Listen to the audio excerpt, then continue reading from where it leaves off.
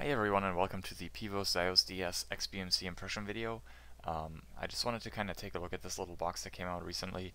Um, it's released by the Pivos company and uh, it's a little tiny device that runs um, Android. Uh, I think nowadays it actually runs 4.1 which is uh, Ice Cream Sandwich and I wanted to go over a little bit about what this box is all about, um, what you can do with it and how it runs.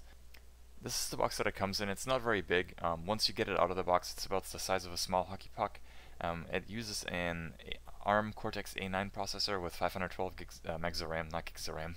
Has a 10100 Ethernet, um, uses BGN wireless, um, has HDMI, two USB ports for you to able to be able to plug a keyboard in.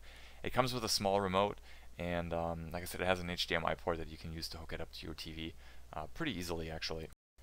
So the next thing I wanted to show you is how long it actually takes for this thing to boot. Um, I know a lot of people don't really like leaving their media center stuff on. Um, it's hooked up to my smaller TV in my bedroom here because uh, I don't really have a big a lot of room where my um, living room TV is. But uh, I just turned it on um, probably about 10 seconds ago or so. You can kind of see on the screen that it's doing a bunch of stuff. Um, you can also see the lights come on in the bottom right hand corner, which is where the box is. Um, it unfortunately takes quite a while to load. This is the Pivo splash screen that it goes to. Um, once it goes from there, it'll show you another one where it says this is the XIOS DS. Um, it sits there for a little while, and then finally it launches into the Android uh, desktop, I guess if you want to call it that.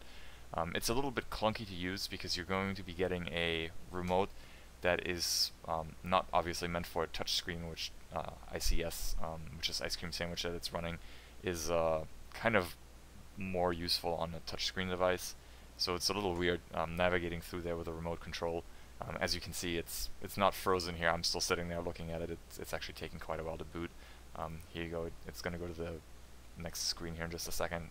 And after this is when the desktop pops up. So once you kind of sit through it for a little bit, it takes about two minutes to load.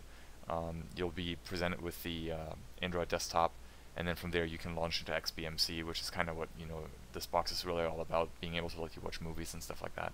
So um, just uh, you know keep watching. It'll go to the desktop here in just a minute, and then from there I'll launch into XBMC uh, shortly thereafter, and you can kind of take a look and see what's going on.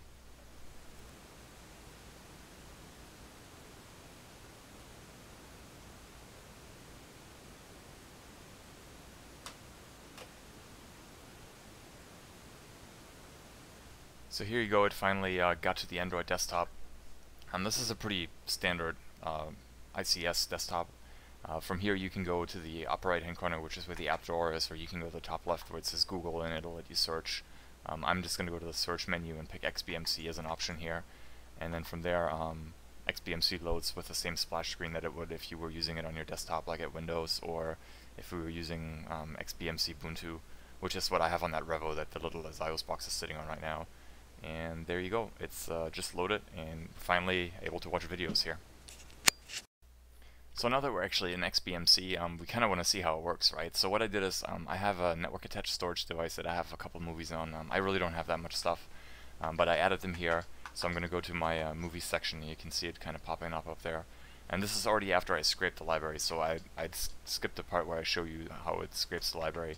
And you can kind of see that it's already a little bit sluggish when it goes to load the fan art um, this is with the default skin that it comes with, which is Confluence. Um, I didn't even try any of the more fancy skins yet, um, which is to me undoubtedly like one of the big um, nice things about XBMC is the fact that you can customize it so hard, uh, so you know greatly.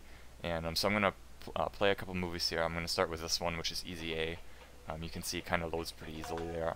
it plays the content back really, really well. it has no problem skipping. This is a 480p movie, I believe. It's not ultra high def, but it works really, really well.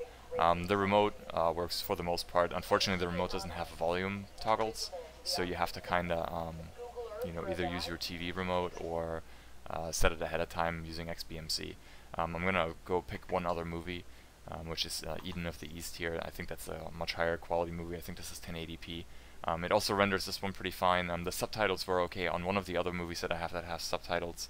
it seemed like the subtitles were either going a little bit faster or like they were lagging a little bit behind. It didn't seem to be quite on par with what my Revo would be doing. But um, you can see it, it renders it just fine. Um, it doesn't have any lag really. Um, you can skip back and forth using the remote and it really doesn't have any issues with you know rendering the content or um, you know keeping up with it. It is however like when you're in the menu is really where you notice it that it just doesn't it just doesn't perform as well as you know a, a higher quality processor, um, something that would have a little bit more horsepower under the hood, obviously.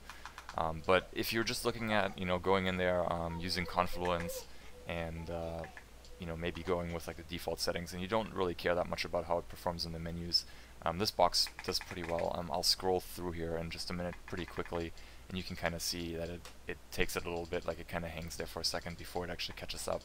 But uh, it does the job for the most part, so it's not really that terrible, um, but you definitely kind of get what you pay for, which uh, is, you know, kind of low performance for uh, quite little money. So one of my biggest uh, likes about XBMC is how customizable it is and how many different skins you can get. So I use Aeon Nox on my Acer Revo that I have, and I, I kind of recommended it to a bunch of my friends who that wanted to use it. So here you can see me going into appearances. Um, I had already downloaded the skin before, so I'm going to go over to skins, change it from Confluence to Aeon Nox, and you can kind of sort of get an idea of um, what actually happens with it. Um, you can kind of hear me clicking on the remote here, and it's just kind of sitting there. So it, it actually takes quite a while for the little device to change over from the normal skin Confluence to um, Aeon Nox. It does render it eventually, um, you'll see here in just a minute. There goes. Uh, no, I don't want to see the videos that show me what Aeon is all about. I've already used it, so I'm just going to go back to the main menu.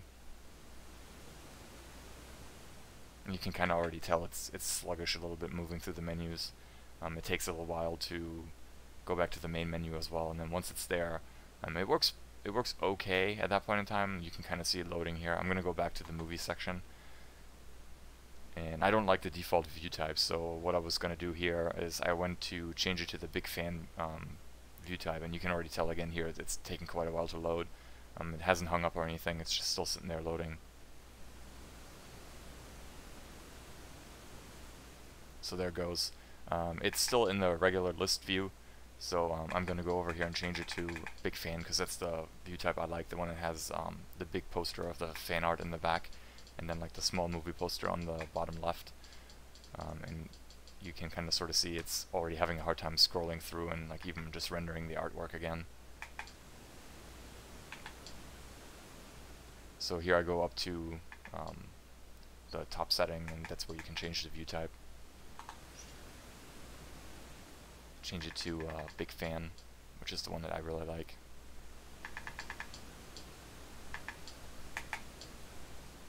and you're going to see here in a second it's going to change the how it looks. Yep, that's what I usually have mine set to. And I'm going to go scroll through here, and as I'm scrolling, um, you can see the, the fan art is okay in this view. It actually loads it okay. And then I'm going to hold down the button on the remote, and as I do that and it starts scrolling, it just kind of crashes, and it brings me back to the uh, Android desktop, which was kind of fun. So it's definitely not perfect, um, but it seems to work pretty well. Um, overall, like I said, it's it's kind of what you pay for. It's $150, I believe, is how much this box is. Um, but it's it's not bad. I just it's not really for me. So uh, kind of take a look at you know how it performs, see how you like it in the video. Um, you can kind of sort of tell. Um, I didn't show you the scraping. The scraping takes quite a while to um, once you do that, but it's it's pretty cool for um, being that small and for being really like a first generation device that just came out. Um, I think this thing has a lot of potential. So hopefully this will be a sign of things to come for you know us home theater enthusiasts, and uh, I think uh, it'll be pretty cool. So stay tuned. If you have any info, if you have any questions or anything, um, feel free to post on this video or on my Tumblr, and uh, I'll try to get back to you.